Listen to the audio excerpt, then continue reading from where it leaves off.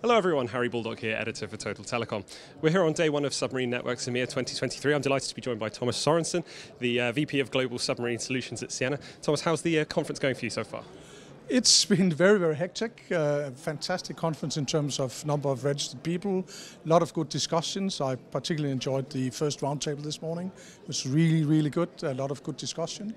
And the presentations in general have a very high professional format, I believe. So very good. And uh, a good and positive atmosphere as well in terms of looking at our industry going forward. So yeah, very, very nice. Perfect, and, and, definitely a very exciting time for the uh, the submarine cable industry in general. In terms of, I guess, what do you think of, the, of as the biggest challenges for the subsea industry right now? So there are a number of challenges obviously facing the industry right now.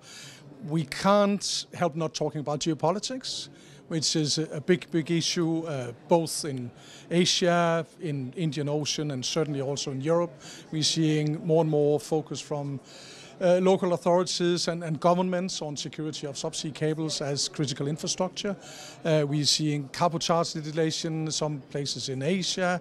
We have issues in the South China Sea. So there's lots of issues on the geopolitics side. At the same time, there's an ever increasing demand uh, for more capacity in the systems. We're getting closer to the Shannon limit, which means that we need to do more to the dry plant now, which again means we're talking more fiber pairs. We're talking new technologies on the fiber side side, multi-core fiber, potentially hollow core fiber. So lots of challenges ahead of us, but they are all positive challenges in the sense that it's about the world needing more of what we do, which is great. Uh, and then we have the geopolitical situation that we can't really do much about, but we have to live with and, and work with, really, and work with the authorities and work with the other seabed users. And in terms of those those technologies, what do you consider to be the kind of most exciting technologies uh, that are really having a big impact? So right now MCF is exciting, multi-core fiber, and we are seeing the first cable being deployed with that technology. However, that technology in itself is probably not the next revolution, technological revolution that we really need to take the industry forward. That might be hollow core fiber, too early to tell, but that could be an interesting one. On the terminal side or SLTE side, we now have a 3 nanometer CMOS in the recent uh, generation of SLTEs, and that's really interesting in the sense that that gives us more spectral efficiency, it decreases um, the space and the power requirements at the SLTEs, which again is good for our sustainability objectives, right?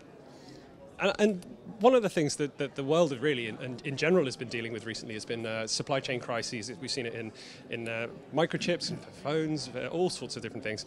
Uh, how far has Ciena been impacted by that, and what, what kind of steps have you taken to, to mit mitigate those impacts? So we, we have been quite heavily uh, impacted uh, overall, and this was not really the, all of the expensive components, it was more the cheap components that we, there was a scarcity of with all the interruptions in the supply chain globally, right?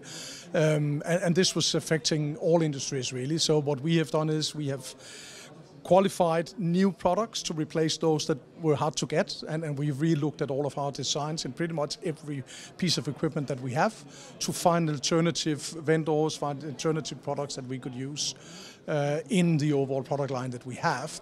It has now really come down, uh, our, our lead times have come down, it has really contracted, which is great. Not quite where we were before COVID, but it's, it's much, much better. It's a bit of a, a wave effect where the first wave was really bad, and now every time we see the top, it's coming down, coming down. And that's globally that things are, are beginning to stabilize, because it has obviously shaking all of the supply chains in all of the industries, and we are now seeing things beginning to stabilize and certainly coming down, uh, which is great. Yeah, very encouraging. I, I think uh, I'm sure the whole industry is very, uh, very happy about that. In terms of being here at uh, Subnets EMEA 2023, we've got so many different people from all the different aspects. We've got the regulatory people, we've got we've got uh, the, the, vendor side, we've got some of the cable operators. What kind of discussions are you most excited to be having at, uh, at an event like this? For me, it's still our customers, so the operators and the hyperscalers, those that use our technology. It's also interesting, as, as a person who has been in the industry for 23 years, to see the governments, legislators being here and having those discussions. But the ones that are close to my heart is obviously those with our customers and those who use our equipment. Thomas, thank you so much for your time today. It's always really great to talk to you. Thank you very much.